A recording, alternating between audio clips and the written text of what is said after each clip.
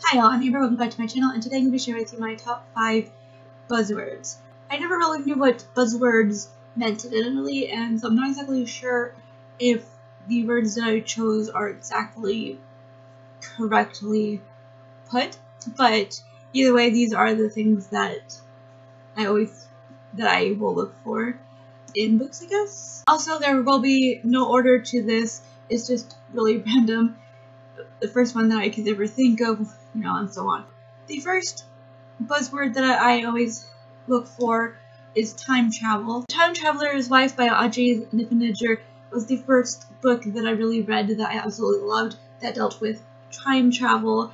And I also really liked the unique way of handling time travel. It's not the straightforward, you know, you create a time traveling machine and you use it to go back and forth in time. So I really liked that she went in a different way and it just really added to the story. This also made me want to read any other kind of books that had time travel in it. It's just a little bit harder to find books out there that have time travel in. Other than this, there's the Outlander series. These are like the two obvious ones that I know of, but there's just doesn't seem to be a lot out there, at least not where I can easily find them. So I always look for time travel in books, but it's not something that I find easily.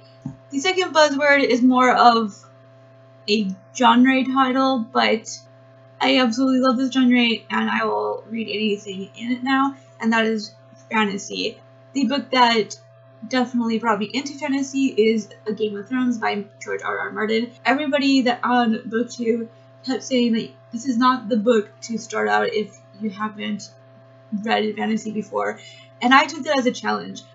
I automatically was like, I'm gonna go and pick this book up and read it. I don't really care what they have to say. And I was kind of surprised how easy it was because everybody kept saying how this is not the book to introduce yourself into fantasy, but it was the perfect introduction for me because I absolutely fell in love with the series and with fantasy itself through Game of Thrones. And so I'll pick up almost anything that's fantasy. The third buzzword is character driven books. I'm not even sure if this works for buzzword, but I'm using it. This is not one of my favorite ones to choose from, but it is one that I definitely will look for in a book.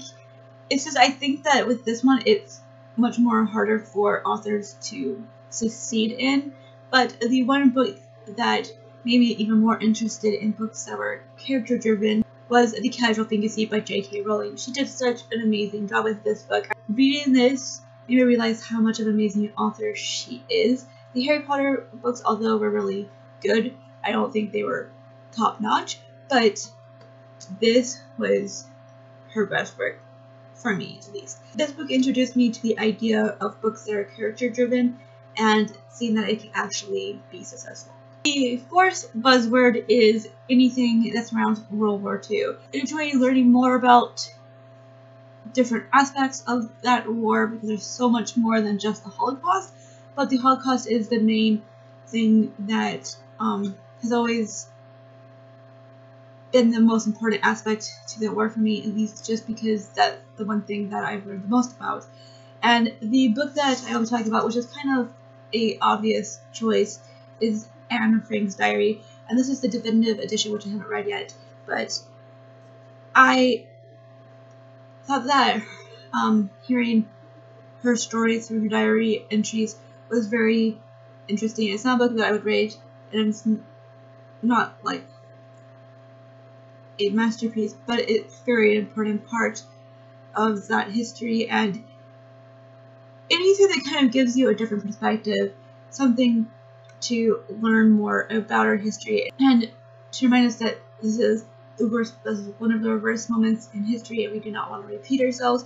And I just like, not like, but like, I always want to learn more and any books, fiction, nonfiction, I will pick up just to see how the authors handle it. Also, The Book Thief was an amazing one that I absolutely fell in love with. It was a very unique way of telling the story. Definitely anything that surrounds World War II I will pick up. The fifth and last buzzword is classics. I will pick up, I will read a lot of classics. I don't, the majority of my books aren't classics, but I definitely will pick up classics, whether buying or borrowing.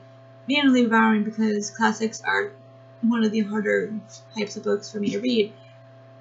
But I definitely got into classics through Pride and Prejudice by Jane Austen. I actually watched the film and absolutely fell in love with it, so I decided that I would pick up the book. And watching the film actually helped me to get through the book, and I really did enjoy the book because of watching the film first. So this definitely opened the doors for me to really delve into classics. Before reading Pride and Prejudice, I really wasn't reading classics at all, but I had been wanting to. And reading Pride and Prejudice actually made me realize that it's not really as hard as I had worked it up in my mind that it was. So it definitely helped me change my perspective.